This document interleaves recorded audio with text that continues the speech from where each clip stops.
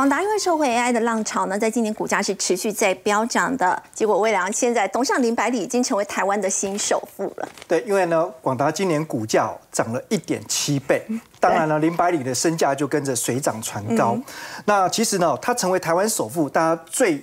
惊讶的是呢，哎，巧巧的竟然就是超越了郭台铭哦，这个成为大概这两天哦，整个市场上最劲爆的话题。嗯，那事实上，整个广达的发展，我觉得它就像是台湾科技世代的缩影，因为呢，广达从笔电到云端。到现在的 AI 伺服器，这一浪接一浪，越来越大，越来越猛。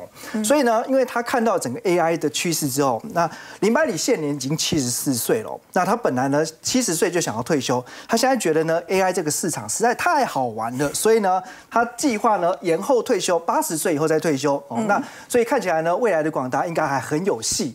不过说到林百里，其实他在上海出生没多久后，在幼儿时期呢苦难时期就。逃到香港，那后来又辗转来到台湾苦读呢，念到这个台湾的台大电机系哦，这个算是。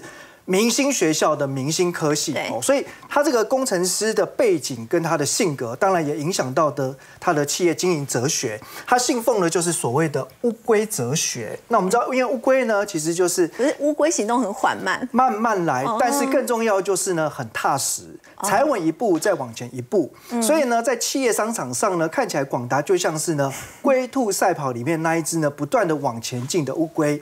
好，那事实上广达是一九八八年成立的。那当时呢，呃，共同创办人之一的就是梁次正，他也是现在广达的副董事长。那呃，他们在一九九八年的时候呢，笔记型电脑的出货量首度突破一百万台。可是呢，才经过短短的三年，到了二零零一年的时候呢，已经变成全球最大的笔电制造商了。出量多少呢？突破了七千五百万台，三年的时间暴增超过七十倍，你看是不是超级猛的？对，好，那事实上哈，我觉得林百里呢，他一直有非常前瞻的眼光，脚步虽然像乌龟是慢的，可是我觉得他的眼光简直就像是老鹰一样，特别远的视野。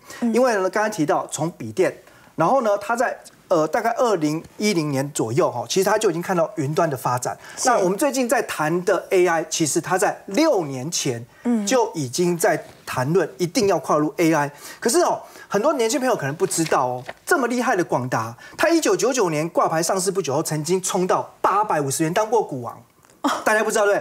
因为你对广达前几年印象都是股价好像就是百元以下，可能八十几附近。好，那他如何从八百五剩下十分之一八十？是要从另外一段恩怨情仇来谈起。好，不过我们说到林百里哦，大家经常就会去谈到他跟呃红海的这个创办人郭台铭之间的恩怨情仇。对，就是红海，因为呢，哦，红海哦，其实呃早期就是以连接器起家的。对。那连接器跟笔电其实算是上下游关系。嗯。所以为了要打入广达这个大客户，那当时哦。郭台铭的已故前夫人哦林淑如，他还特别去打听到说林百里爱吃水饺，所以哈他们邀请林百里，然后呢还亲自包水饺，然后下厨煮给他吃。哦，所以呢两个人就结交了哦长达三十年的好友情。而且大家知道霸气如郭台铭的商场强人，事实上看到林百里私底下他都是称呼他大哥。哦，因为毕竟呢是有当初广达推这么一把，对，可能才有红海呃这么强大的根基哦。嗯，那不过哈，在二零零五年的时候，那时候林百里的健康亮了红灯，呈现半退休状态，然后呢市场就传出红海想要趁虚趁弱并吞广达，有这样的传言说还要并广对打入笔电的市场。那为了这件事情呢，郭台铭还亲口承诺说不会，大哥。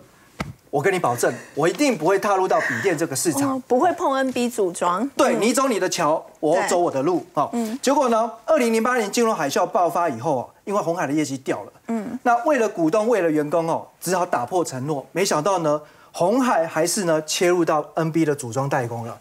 就为了这件事情哦，双方真的。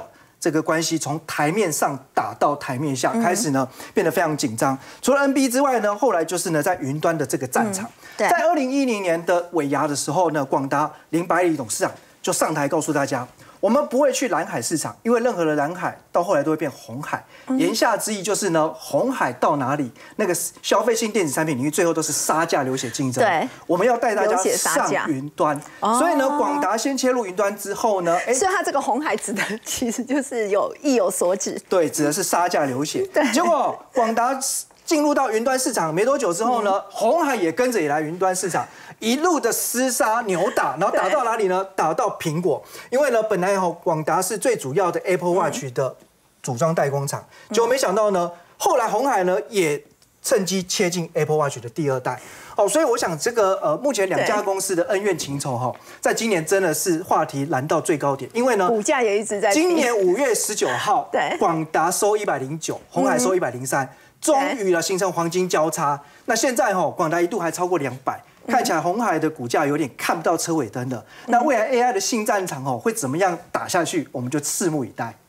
好，我们先休息一下，稍后来看到说这个 AI 呢，超维的这个执行长苏姿峰呢，下个礼拜一要来台湾了。那么 AI 概念股呢，最近成了当冲客的聚集地哦，这会不会让市场也开始担心成为这个航海王的翻版呢？我们先休息一下，稍后来关心。